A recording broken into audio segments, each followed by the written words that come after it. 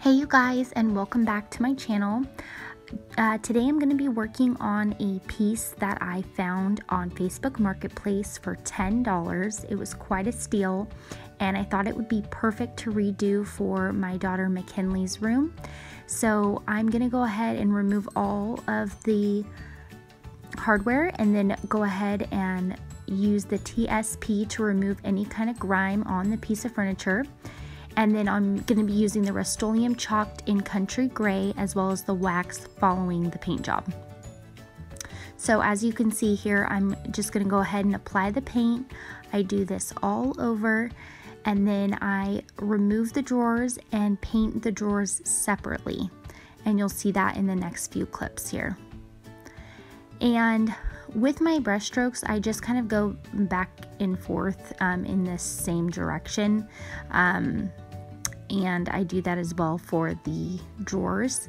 But using chalk paint is quite simple and that's why I do it. Um, I usually typically do two coats, so it doesn't take that long to dry. Uh, after the two coats, I then apply the wax after a couple hours and it's finished usually, so I can move it right away, which I love.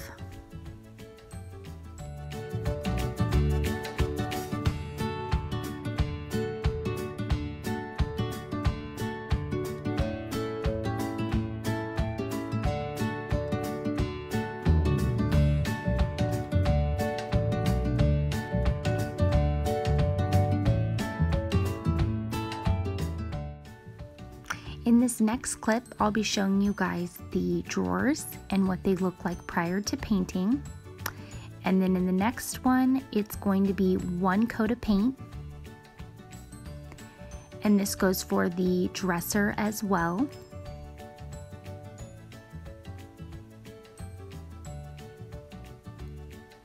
And then I went ahead and applied the second coat. So you can see there's a lot more coverage. And I did the same for the drawers.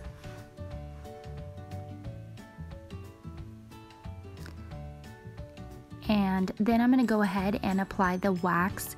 It's really quite simple. I just use this little towel and um, I try to just go in that back and forth motion. Sometimes I do circular motion, but I just make sure I cover um, all the areas on the surface um, and also the sides and little crevices that I can find. Um, and please excuse all the crap in my garage. I just had a garage sale recently, so everything is just piling up in the background.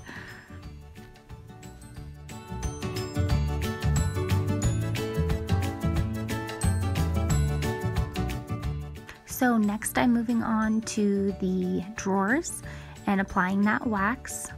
Again, please excuse all the mess behind me. Um, but then after I apply the wax, I let it dry and I move on to installing all the hardware back on. I typically never repaint over the hardware when I buy these pieces. I usually like the way they look, um, kind of old and rustic, so I just keep them as is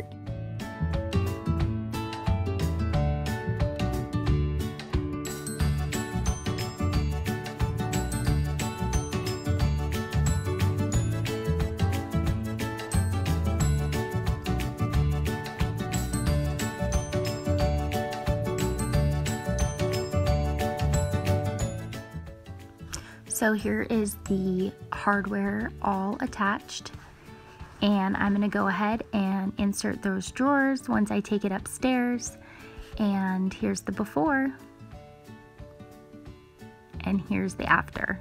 So I love the way this turned out. I didn't end up doing any wet distress on it. I liked it just in the solid gray um, and I love the way that it turned out. So I will definitely be doing more pieces like this in the future. Thanks again for watching this video. Please make sure to hit the thumbs up button below to like this video, subscribe and hit the bell for more future videos to come, and have a beautiful day. Thank you.